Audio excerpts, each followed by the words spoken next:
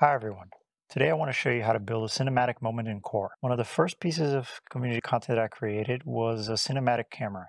It's been used quite a lot, but I've never made a tutorial for it. So let's get started. So I'm beginning from a blank project and I go into community content and type sniper. I'm going to import the Sniper Alley construction kit by BiggleBuns. We import that and it brings in a lot of stuff. What I want to drag into the scene first is this uh, Arena Sniper Alley right here. Add that to the hierarchy. And it adds this whole lot of structure. The next thing I want to do is generate a terrain. And we can just leave all these settings the same. And what we want is the background mountains, that one. Press generate. And in core content, we search for desert. Throw terrain desert on it. There we go. Um, should be playable, except the spawn point is still all the way here at the bottom. If I hit play, I'll appear uh, below the game. So pretty easy to fix. Take the spawn point, move it up. But there is a technique that we're going to be using a lot in this video, which is you select an object and then you move the, the editor camera where you want that object to go. So let's say right here, we're going to be entering this, this door. So we want the spawn point to be around here. So you can right click in this area and say, uh, move the selected object to camera. Position only in this case. We don't want the spawn point to be rotated. And the, the red arrow shows the forward vector of the of the spawn point. And it's a little bit above the ground, so I'm going to bring it down. There, so we hit play, and now it should be here in front of this door. There we go. Uh, it has these barrels and you can destroy the barrels. The next thing I want to do is add a rifle. So here in project content, I'm going to search for rifle. It already came with an advanced rifle. I can just drop that right there on the ground. And if we hit play again, we can approach the rifle, hit F, and shoot at these barrels. Bam, destroys. And we enter this passage and it has this uh, this temple room, which is a pretty cool room. So the idea behind my cinematic is what I wanted to happen is when the player steps in this point right here, the cinematic takes over and makes my player walk slowly all the way down here. While my character is walking, the camera is going to pan from here in this direction. It's gonna like show the room. And then I want a second take where it's going to zoom in on this portal. Okay, so that's what we're gonna build. In order to do that, the next thing we wanna do is import the cinematic shot component. So community content, I wanna clear that sniper search and search for cinematic. There it is, cinematic shot port. Collapse everything, and I'm going to add one copy of Cinematic Shot to the hierarchy. And the first thing I want to change about this is this uh, checkbox. I don't want it to look at the player. So this right here is fine. You can leave it as is. It has this target, but because look at target is unchecked, it's not going to follow that. So what it's going to do, it has these two cameras, the camera start and the camera end. And it's going to pan the, the cinematic from the start camera to the end camera. So what we do is we select the camera start, we go in here into the room where we want it to be, and we um, position our uh, our editor camera kind of in the position. We're going to use that same technique I showed with the spawn point. So I want on the one third, um, one third of the screen my player is going to be. So about right there, and the player is going to walk in this direction. So you right click, and this time you also align orientations. um, it's it placed the camera right there where our editor camera was. Now we select camera end. Uh, and actually, let me go back to where I was. So with the camera start selected, we can right click and say move the editor camera to where the selected object is and it places our our editor camera back there. Because I don't want to move the cinematic camera I just want to rotate it. So with the right with the mouse right button pressed I can drag here and only rotate I'm not moving. Um, and I wanted to kind of stop here yeah right there so the end camera is already selected, right click and align orientation and position. So let's run this and see how it is. You hit play and as a shortcut for, for workflow purposes, you can press the M key is the default um, shortcut that comes in this in the cinematic shot is right here, the, the play on press. And um, you can press M on your keyboard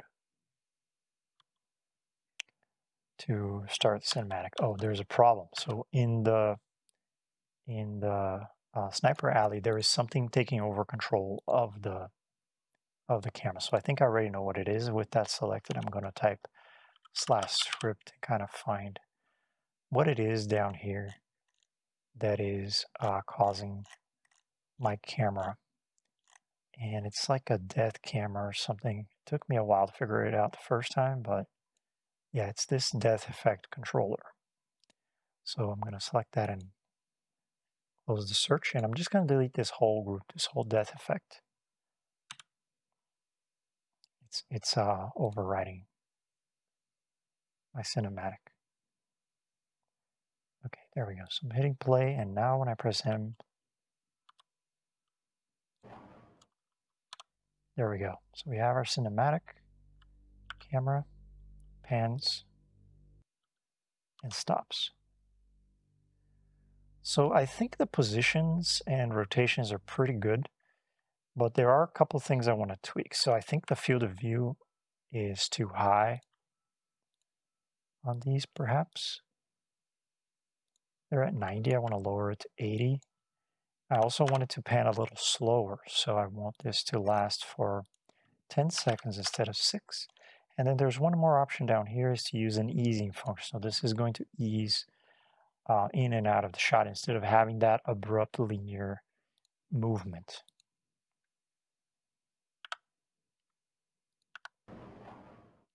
We press M. So now with the easing, you can see. That's not bad. Try that again. I think the starting camera is a little high because I want my player to be um, a little lower in the view. So what I'm going to do is just go here, select the start camera, F to focus, and I'm just going to tilt it forward a little bit, kind of take a guess.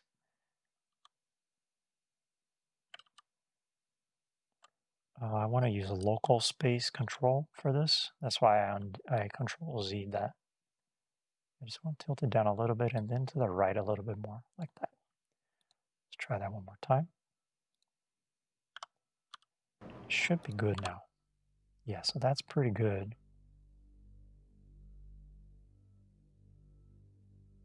You can press M to skip. So my character is going to start right there.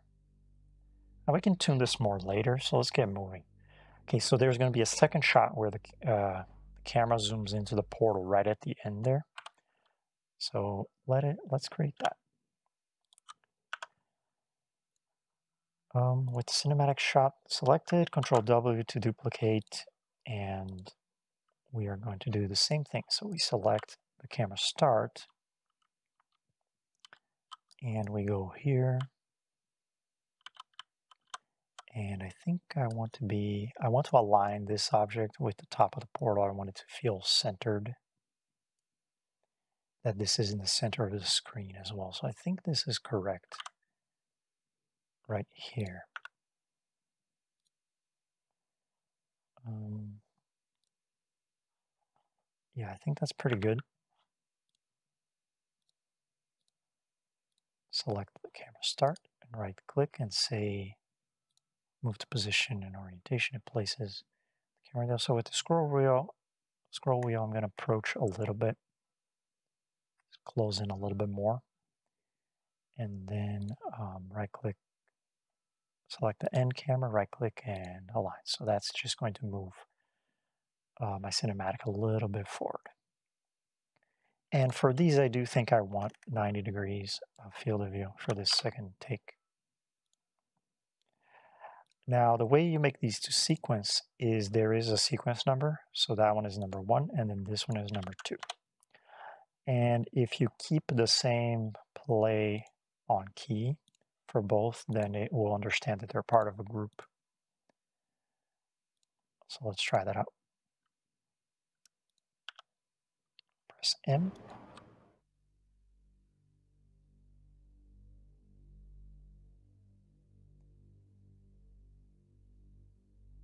Second take. There we go. Mm, it's a little high and a little slow. So it's slow. I think I think for this one we don't want the easing function. And it's too long at 10 seconds, so we want to uh, modify some of the settings, remove the easing function. Maybe 5 seconds is enough. And they are also a little bit high, uh, both cameras. I'm going to just lower them a little bit. And I can get a feel for where it is by right-clicking and saying move, move there. So is this what I want? Maybe the second one needs to be a little closer.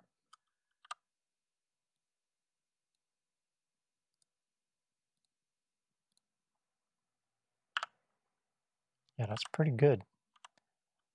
Try this one more time. Control S to save that because that was a lot of work. I don't want to uh, do something wrong and lose work. So let's see. And I could skip ahead to the second take. If I'm trying to just tune one take, you can just press M again and it skips. They still feel a little high. Yeah, they're definitely high.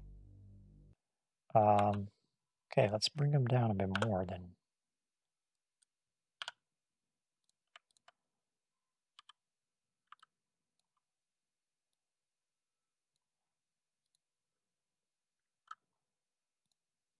I want to feel more towards the center.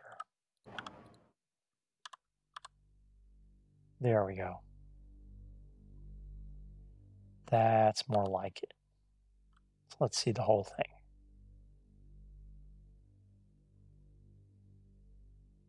You could add some music, some audio as well. It's very quiet right now. That is pretty cool. I want to see it one more time.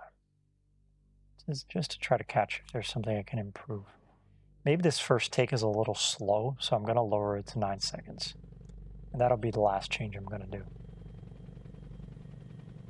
I can hear the helicopters outside. It's hilarious. Okay. Yeah, so I'm going to lower this one to 9 and I'm done with the first phase of this work. So the second phase of the work is uh, here in the dependencies, there is a template called the Cinematic Trigger Player. So we add that to this spot right here. Where the player is going to step. Expand that, there's a trigger inside. So we want to shape the trigger so it's a little thinner. Um, and covers more area so the, the player, you know, tries to jump around or something. Uh, they can't you know, we want to catch the player no matter what they do. So that's pretty good. And um, there's this walk target object, which is where the player is going to move to. it's using the shield icon just as a visualizer. So during play, this doesn't appear. Uh, this is just to help during editing to position it. So I want the player to move further down around um, here maybe.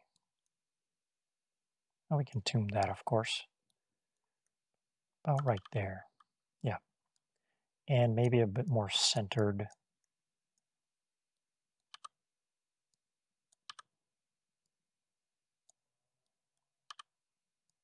Where this thing is, which is the middle of the altar. So, I mean, they might enter here or here, wherever they enter, they're going to end up there.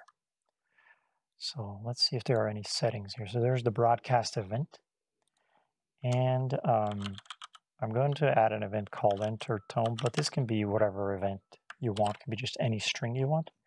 And then what we do is for the cinematic shots, we select those and we put the same here in the play on event. I had already put it before, I forgot to clear it.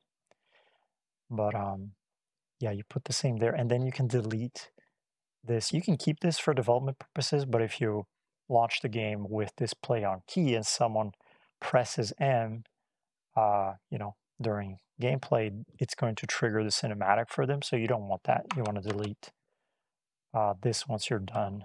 Once you're done editing, but if you need, you can uh, you can put it back and and for development purposes, right? That's a productivity um, option.